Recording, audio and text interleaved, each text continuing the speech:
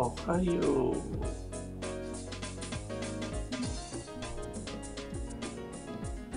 ポンちゃ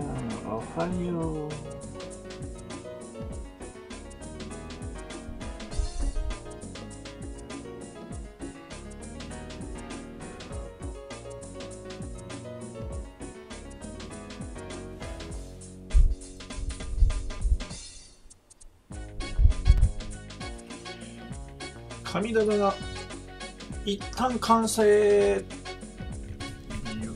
雲。あ雲が。どのぐらいにす？ると読めるかな？こ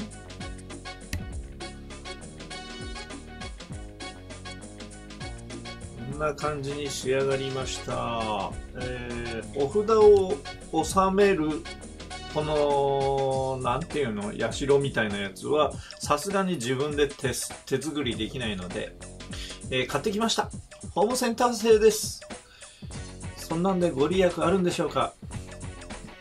ホームセンター製ではないね。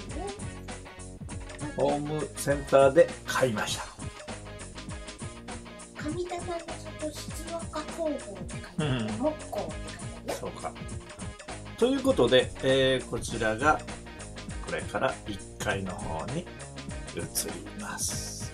ただね、えーインターネットの友人たちからのアドバイスで方向があるんだということを知りました。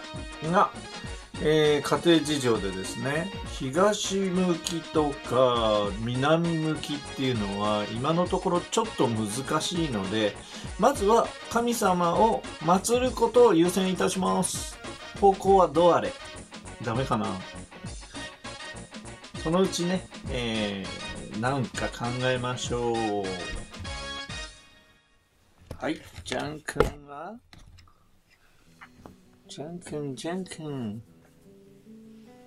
神棚とジャン君。かける神棚、うん。壁に願いをって書いてあるよ。星に願いをみたいなもんか。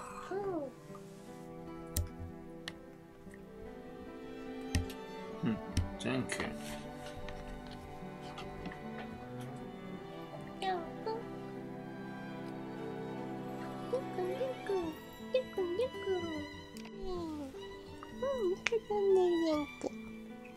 気持ちい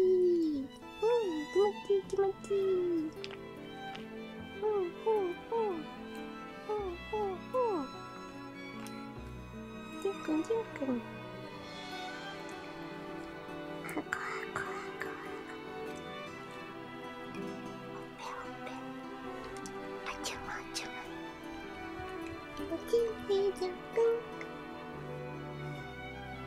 なん。よくちょっとこれ面白いよね、この、この乗り方。じゃんくん、ポンちゃんみたいだよ。じゃんくん。じゃんくん毛が抜けるね。はい。ジャン君の瓶持ってこなきゃ、